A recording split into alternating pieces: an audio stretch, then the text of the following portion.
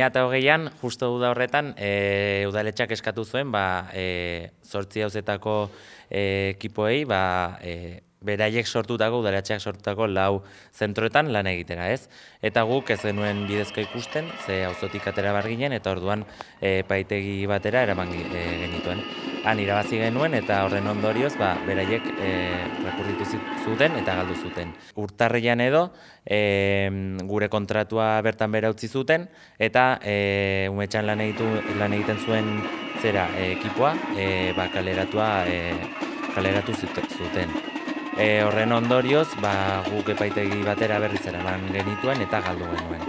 Horren ondorioz, e, kostatu, kosta batzuk ordaindu behar ditugu eta kosta horiek udaletxeak erabakitzen ditu eta la, e, maksimoa ja, ezartzea erabaki du eta lau mila eta berrogeita marra europak dira.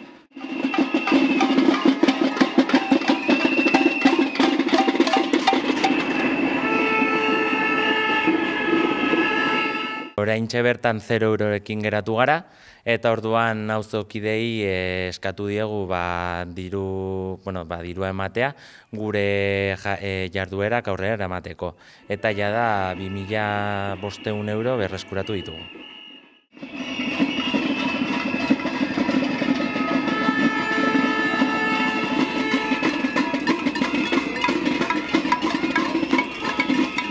Ofentsiba ez dela 2008an gertatu, ez da 2008an ere, oza, 2008an, hogeita batean, hogeita bian eta hogeita iruan izan da, zergatik e, karrikagunera jeitsi direlako udaletxetik, esanez karrikaguneren erabilera ez dela gokia, hemen vandalismoa dagoela, eta e, az, e, gure bulegotik bota ziguten, eta e, gaur egun Coworkids ez da bulegorretara joaten, ez dira auzotik agertzen, auzoan egiten dituzten jarduerak ez e, aurrak ez dira joaten jarduera horietara eta azken finean ba beraien e, aportazio auzoan e, ba nuloa da.